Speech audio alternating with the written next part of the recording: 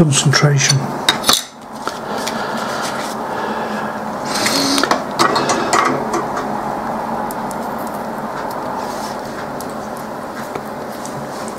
I won't get the surplus one out. Okay, so going for these three.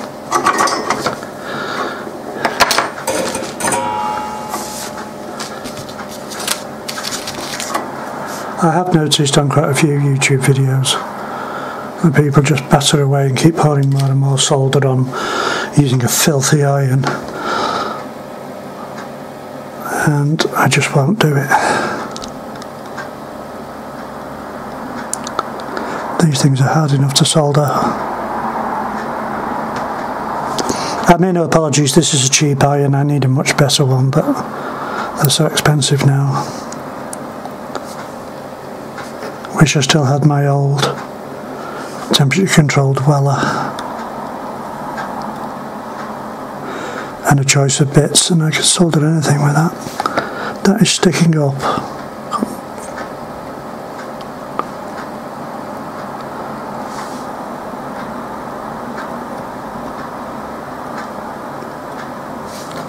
Not enough solder.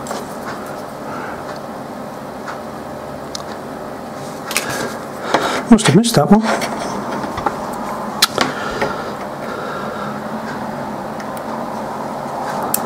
Oh, sugar. Just ricocheted across the desk.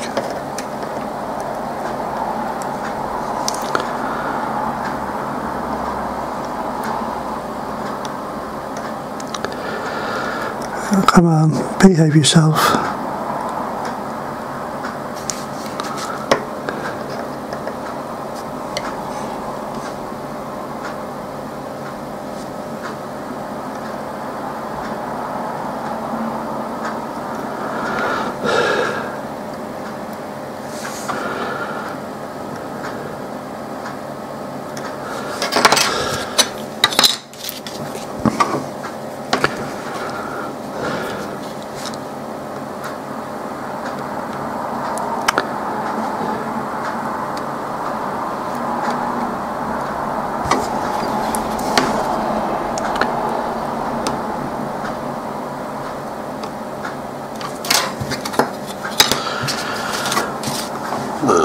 Excuse me.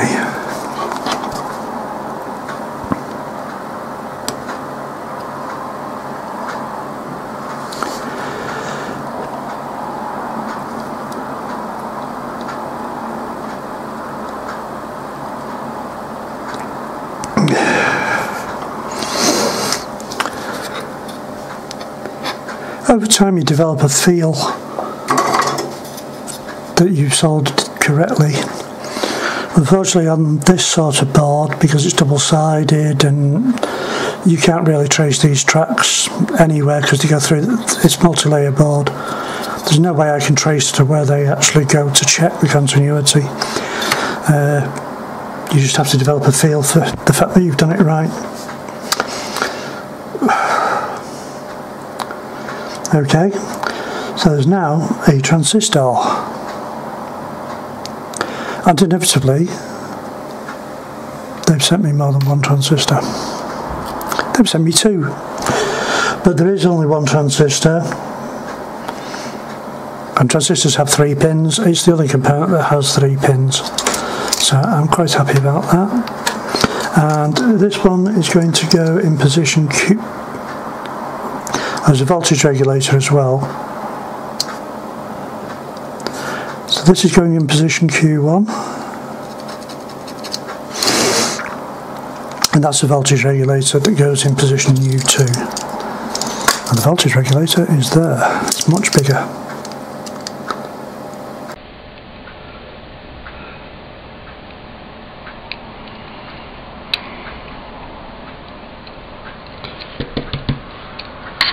Here's Q1.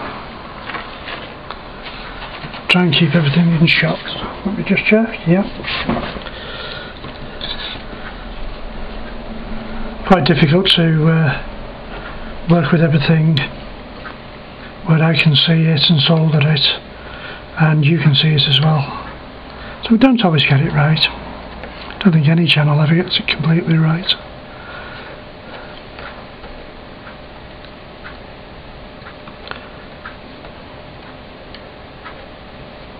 Come on. Turn the right way up, you flipping transistor. There we go. So Q1. Ow! Burnt my hand. And he stinks too. It's amazing how easily skin burns. Not very pleasant at all. Q1, where are you? We found you before. The single pin is normally the collector. We're not going to worry about why. We're just going to try and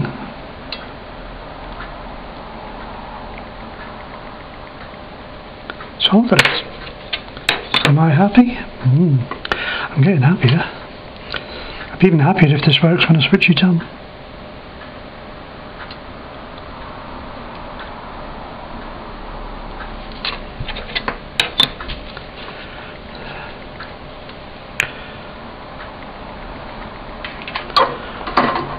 Can we go straight to the voltage regulator?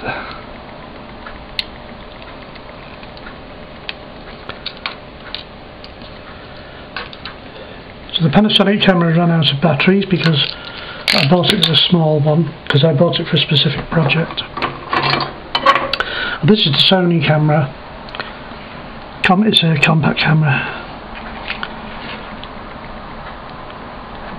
and I don't think I've ever managed to flatten the batteries doing a video but first time yet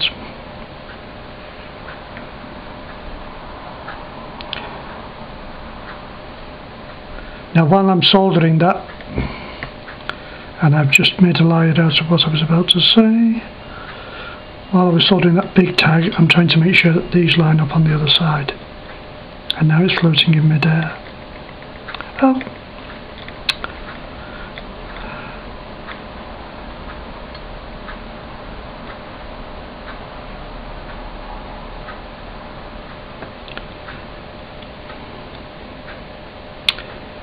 because it's a big tag there's a lot more thermal inertia. So it stays hotter longer. It takes longer for the solder to set as well. It's really a good idea to count to about five before you let go.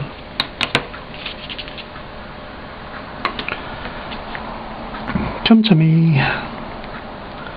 Little regulator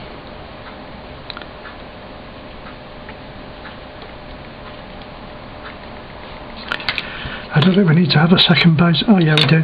If the flux goes very grey looking, the solder, it's a good idea just to reflow it. Grey, uh, grey coloured solder, that dull grey effect that you get when it's not shiny, is a good indication that you might have a dry joint. What's a dry joint? A dry joint is where the solder is not completely molten and it crystallizes and it's possible to have quite a high resistance joint. That is what that's about. Oh, okay.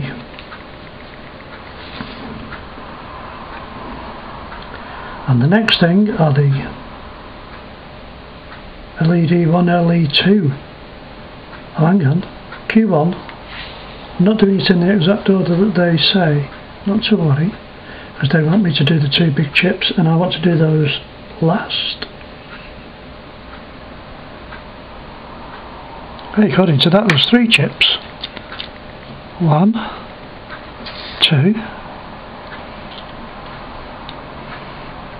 hmm.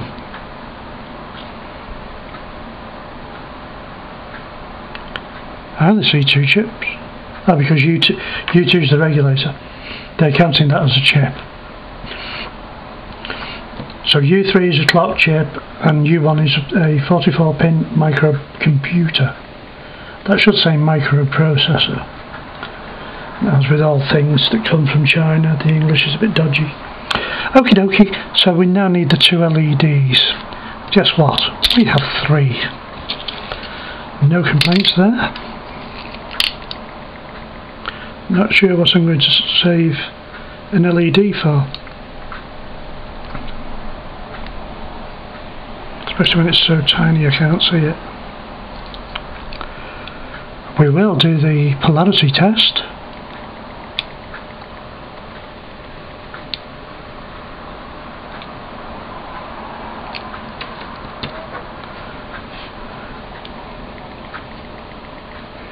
using the multimeter. Oh, you little swine. Decided to leap up and jump across the desk.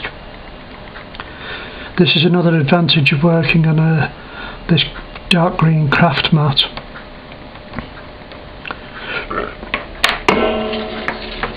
That you've got a nice flat surface which is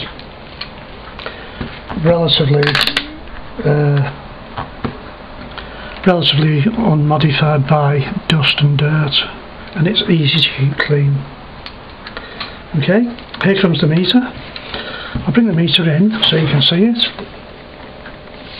And the point of the exercise is that when we get the terminals on the right way around, they should light up. They are blue, aren't they? So both of these have got the positive to the right, just to prove there is no resistance that way.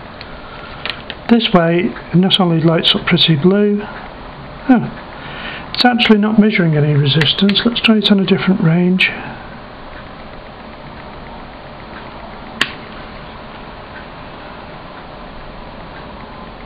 And then the voltage drops on that range. So I'm not getting a reading, but we know that that is positive. That's the important thing.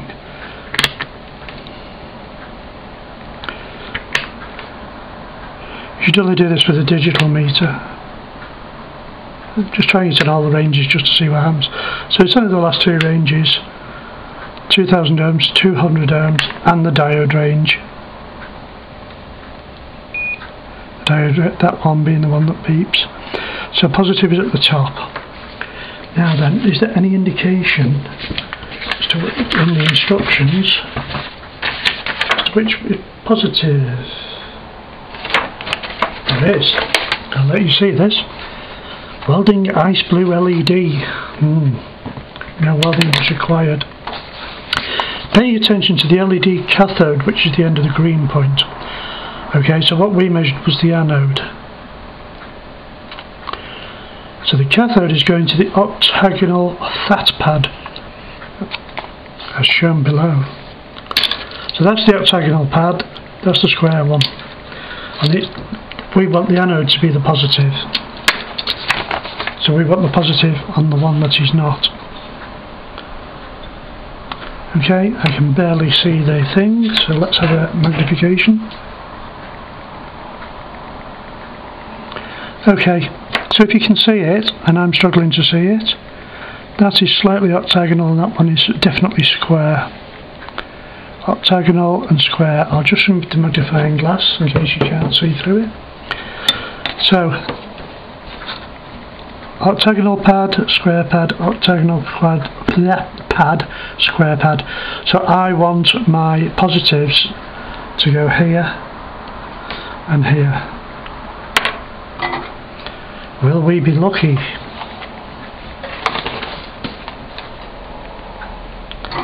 trying to strike a balance between getting this done before the battery runs out and making mistakes. You need a heck of a magnifying glass on these to ascertain which end was positive.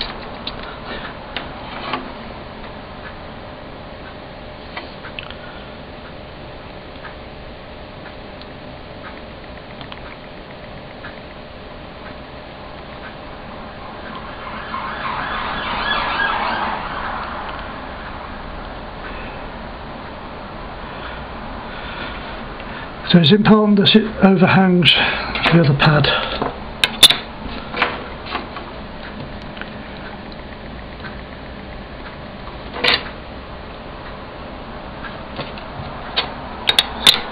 Resolve it again, reflow as they say these days.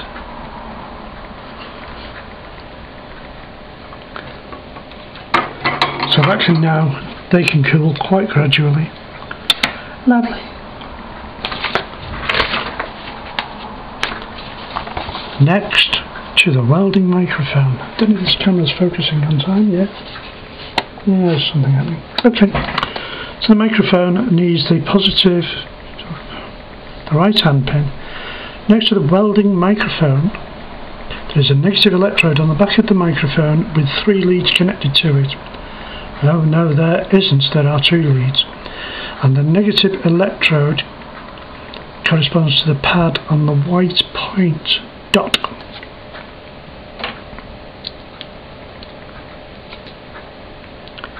Okay, spread these a little wider. So this right hand pin has got to go to the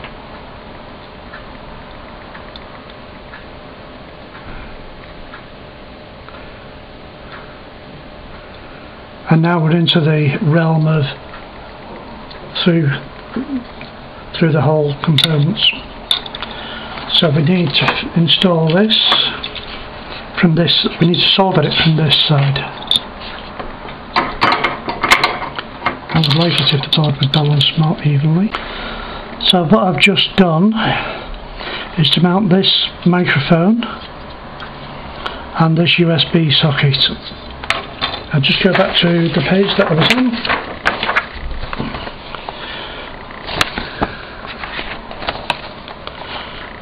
Yeah, the microphone has to have this right hand terminal to the one dotted. You can't see it now because I've soldered it. And then the same with the USB socket. Now it's important that you mount these on the same side that the chips are on. I managed to get it wrong with the microphone. I was lucky that I only did it with the microphone because the USB socket would have been a bugger to get out. I've also cut the surplus from the mounting brackets because I know that this is quite closely mounted once you put the LEDs on. Everything fits really tight. Okay, so that's the USB socket done. And I've just moved to this buzzer. And the buzzer has to have the positive facing down but it's on the other side of the board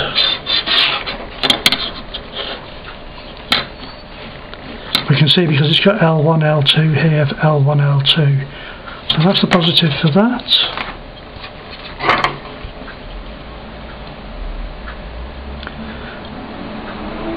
Now the microphone is important polarity wise because it's an electret microphone or a condenser microphone and uses a small voltage to polarize it. Now the other thing that I have heard about this is that this battery holder has to be mounted very flush to the board. So it's a surface mount one obviously and again I'm just checking that it de definitely goes on this side.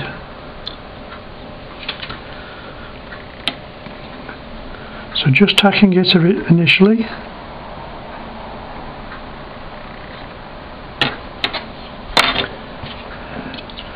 soldering for real.